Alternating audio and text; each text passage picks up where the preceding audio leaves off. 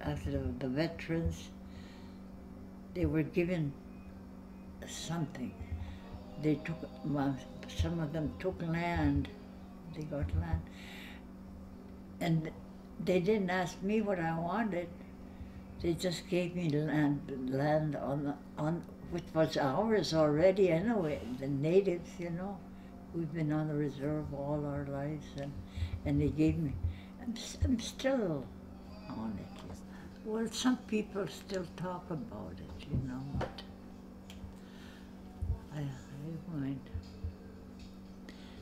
Yeah, that it's not fair, I think, they give, give you land, which is already yours anyway.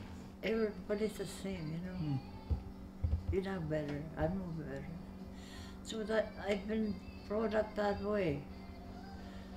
So I think that should be that way.